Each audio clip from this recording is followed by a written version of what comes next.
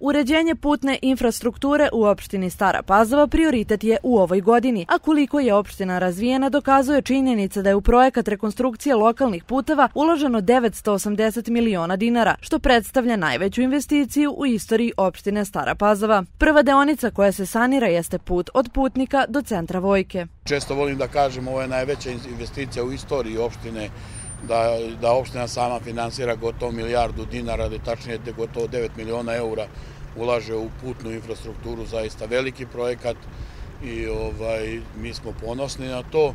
Rok završetka je u toku ove godine. Pripremni, odnosno zemljani radovi počeli su danas, a saobraćaj se odvija jednom trakom uz naizmenično propuštanje vozila.